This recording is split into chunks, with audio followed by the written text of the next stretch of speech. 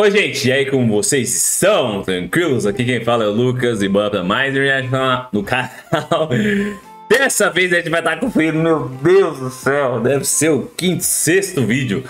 As Akuma no Mi do tipologia mais forte de One Piece, ranqueadas da mais fraca para a mais forte. Essa eu acredito eu que tá totalmente atualizado, porque saiu no dia 23 de abril, vídeo do nosso querido Player Solo, Monstro Sagrado e Será que o Luffy vai estar em primeiro lugar? Muito provavelmente, né? O Luffy em primeiro, o Kaido em segundo, ou o próprio Kaido ainda vai estar em primeiro mesmo com a fruta despertada do Luffy. Não sei. É, eu conheço poucos é, frutas Zoans, eu acho que tem bastante agora por causa do arco do, do Kaido, né? O arco do Wano. Tem bastante Zoan por causa da, do bando dele, né? Que é o bando das criaturas lá e tal. Então, bora conferir que o nosso querido Player Solo preparou o vídeo totalmente atualizado. Saiu dia 23, hoje é dia 26, então é o máximo atualizado possível. Então, se você já é inscrito no canal, por favor, deixa aquele likezão no vídeo, porque ajuda demais na divulgação. E se você ainda não é inscrito, seja muito bem-vindo. Estamos rumo a 20 mil inscritos e eu conto demais com a sua humilde colaboração. Beleza? Então, go! Preparadas, senhoritas e senhoritos? Então bora conferir as 10 Akuma no Mi tipologia mais fortes de One Piece, ranqueadas da mais fraca para a mais forte, player solo.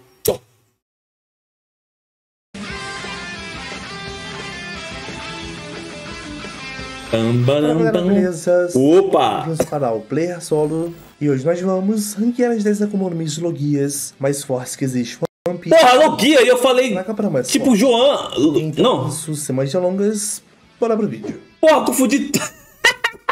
Caralho, confundi tudo, porra. É Logia, não é Zoan, não, viado. Me...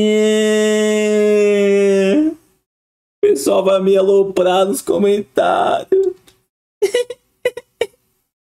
me desculpe, desculpe por assistir.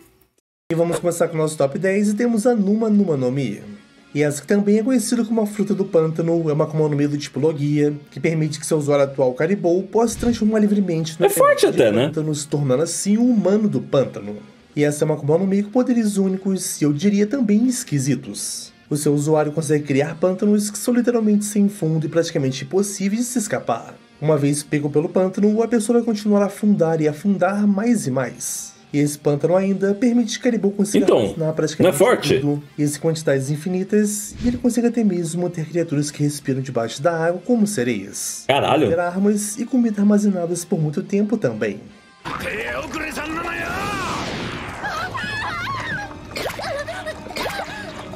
É nojento. No lugar temos a Yuki Yuki no Mi. E essa fruta permite que da neve, não é? criar, controlar ou se transformar em neve à vontade. Seu da hora essa fruta. era Monet, porém após a morte da mesma, Monet. a fruta voltou a ficar em circulação sem um novo usuário. E ah, morreu? E é bem parecido com a fruta do gelo do Aokiji, porém já confirmado que é menos eficaz, já que essa cria neve e a do Aokiji é o próprio. Cria gelo. Porém, em essência, elas são bem semelhantes. A Monet tinha um nível de resistência extremo, sendo imunidade total ao frio. Com seus poderes, ela conseguiu deixar a neve mais densa sem criar barreiras. Ah, ela morreu, mano? Foi de base? E mais coisas que serviu tanto para ataque como para defesa. A sua fruta ainda permite que ela consiga enfraquecer alguém com um simples abraço. Oxi. Ela usava seu corpo extremamente gelado para congelar alguém ah. consciência. Monet conseguia criar tempestades de gelo enormes e ele Olha o Luffy correndo. toda essa neve, Corre, doidão. tornando ela muito perigosa de ser enfrentada. E é claro, ataques físicos sem haki não funcionavam no seu corpo de neve.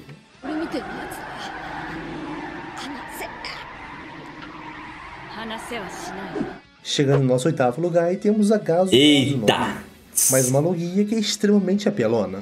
Agora a fruta do gás, que pertence ao Cesar Cloud, fruta do gás. cria, controla e se transforma livremente em gás. Os poderes dessa fruta em mãos erradas se tornam bastante perigosos. O Caesar pode se transformar em gás e assim se manter flutuando. Ele também pode entrar em lugares que seriam impossíveis para todo tipo de humano.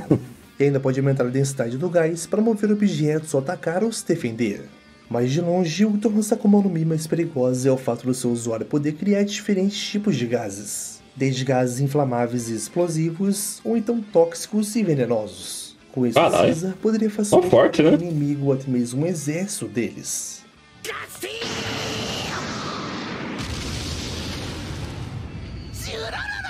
Vamos de sétimo lugar e temos a Suna. Brabo, caralho. Seguindo agora temos a fortíssima Fruta do Crocodile. Uma das mais antigas e clássicas Mugiwara. existem em One Piece, que pertence ao Crocodile e permite que ele crie, controle e se transforme livremente em areia. E é dito que a Suna Suna no Mi é muito poderosa e eficiente, além de bastante perigosa. Isso porque ela concede uma grande variedade de habilidades ao seu usuário, ao invés de apenas o controle elemental. Crocodile pode iniciar tempestades gigantescas de areia, pode localizar areia movediça e soterrar os inimigos, consegue criar lâminas de areia muito afiadas e ainda por cima, pode absorver líquidos de praticamente tudo, desde flores a seres humanos, e com isso vencer o seu oponente por desidratação. Crocodile também tem seus poderes muito amplificados se tiver uma área desértica. E essa é uma das poucas frutas que pode naturalmente neutralizar sua própria fraqueza. Essa parte já assisti já. Impel Down. A IRE no Mi fica em nosso sexto Caralho, tem sexto? Vamos agora uma das acumulações que eu particularmente mais gosto, que é a fruta do gelo, que pertence ao ex-almirante Sexto? E essa fruta permite que seu usuário crie, controle e se transforme livremente em gelo. E essa fruta é extremamente perigosa, galera. O principal uso dela é para combate, normalmente é o que sempre prioriza que seu gelo toque seu inimigo. Uma vez que isso acontece e acabou, a chance do alvo ser congelado até a morte é muito grande. Com os poderes dessa fruta, Aokiji consegue criar lâminas de gelo muito afiadas, além de poder criar tanto gelo que chega a ser idiota. Ele conseguiu façanhas como, por exemplo, congelar por Congelar o mar. várias, várias e várias milhas de oceano congeladas em poucos segundos. E depois de sua luta contra o Akainu, parte da cidade de Punk Hazard foi congelada, e também foi o frio e o clima da cidade mudou para sempre. Vale Porra. lembrar que Aokiji é um dos poucos usuários de Logia que podem ser acertados por ataques físicos sem haki. Isso porque o gelo é um elemento em estado físico. Ah, é verdade. maioria desses ataques mal fazer efeitos a ele. Ele não fica intangível, né? Seu corpo de gelo. Nossa, é verdade, ele não fica intangível. Ele não consegue, né? O gelo é físico. E vamos para o nosso quinto lugar e temos a Mera Mera no Mi. O Ace na frente Essa do. é uma das Akuma no Mi mais conhecidas e antigas que foram mostrados em One Piece. A fruta que pertenceu ao Ace e atualmente pertence ao Sabo. A Akuma no Mi do Fogo que permite que seu usuário possa criar, controlar e se transformar em fogo quando quiser.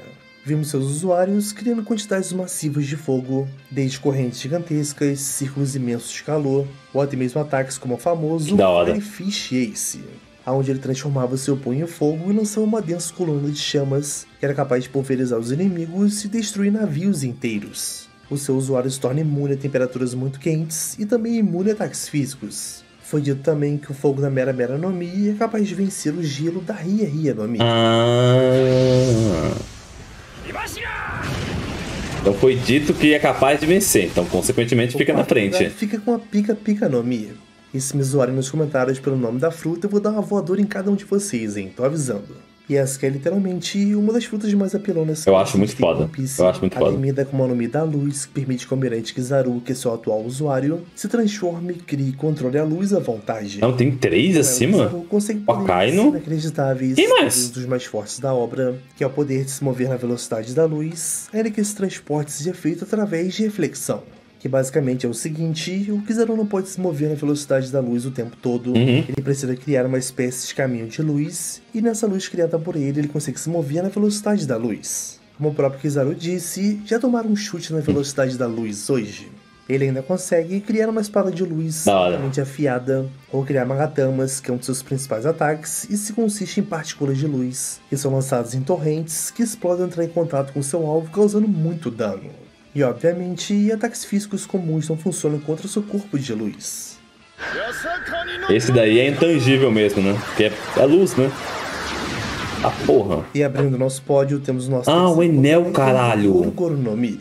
A Akuma no Mi que pertence ao God Anel e é absolutamente poderosa em todos os sentidos. A Goro Goro também é conhecida como a fruta do relâmpago e permite que seu usuário crie e controle Nossa, o Enel é forte pra porra, né, mano? Se for ver, né? Com seus poderes, o Enel pode criar uma variedade absoluta de técnicas que servem para literalmente torrar os seus inimigos. Suas técnicas podem variar desde 1, 10, 20, 30, 50, 60, 100 ou 200 milhões de volts. Nossa, velho, que exagero, né? Quão bizarro isso é.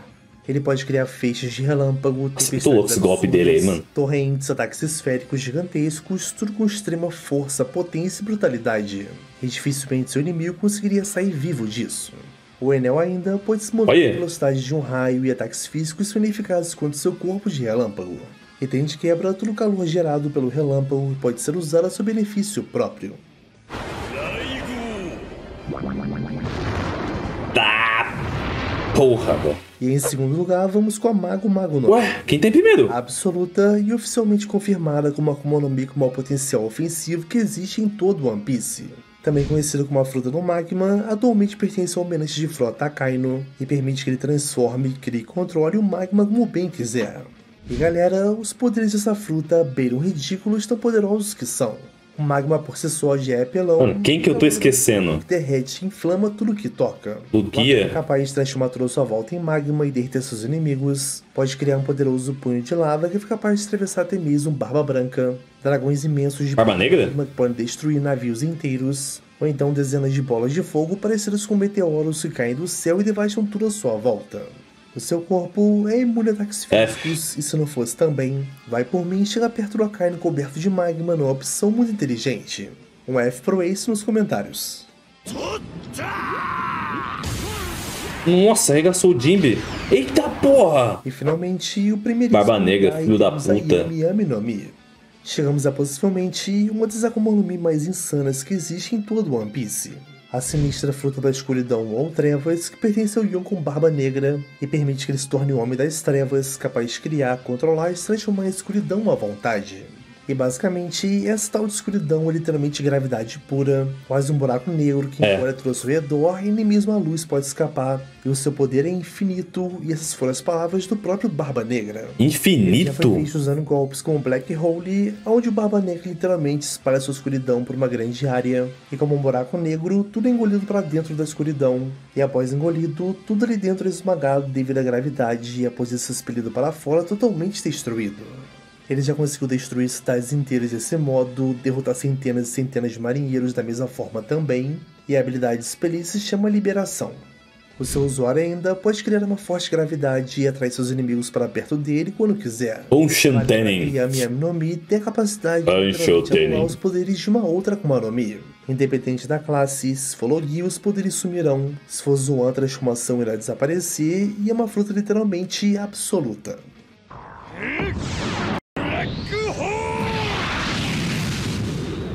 É muito forte, velho. E é isso, galera. Chegamos ao final de mais um vídeo. Top, Espero que tenham top, gostado. top. E se você chegou até aqui, Nossa, acho que agora eu vi todas- seu like, se inscrever no canal todos e dos compartilhar todos, esse né? vídeo, beleza? As nossas redes sociais estão aqui na descrição. Segue Acho que a agora eu vi todos os tops também. dos E é isso, tops. muito obrigado. Vocês são os melhores. Tchau. E valeu. Meu, confundi tudo. confundi Logia com Zoan. Tava falando do Luffy, Kaido, da tripulação do Kaido. Não tem nada a ver. É Logia, Logia, não é Zoan. Então ele listou aí as 10 Logias, teoricamente mais fortes. O Barba Negra ficando à frente do Akaino, sendo que o próprio Oda falou que a fruta do Akaino é a mais poderosa em questão de poder.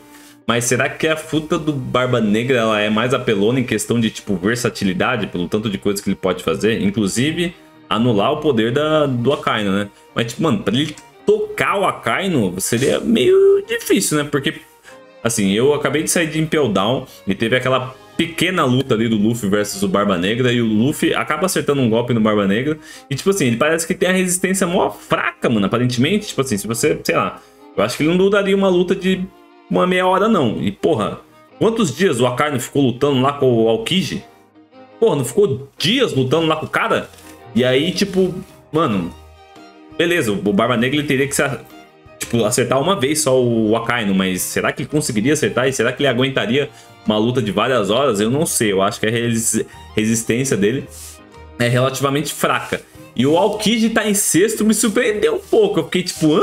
Mas aí porque veio Aokiji, aí veio a fruta do Ace, veio o Kizaru, depois Enel, Akainu e o Barba Negra. A fruta do Enel é extremamente apelona, isso que é foda. Tipo, a gente viu o Enel lá no comecinho de One Piece e querendo ou não, o Luffy ele só derrotou o Enel pelo fato de que ele era o inimigo natural dele. Porque se pelo que o pessoal fala, o Enel, em teoria, ele seria praticamente nível almirante. Não sei.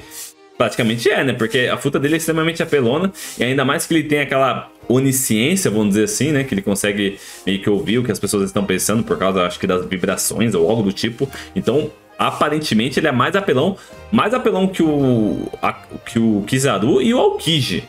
O que você acha dessa pequena afirmação do nosso player solo? Você concorda?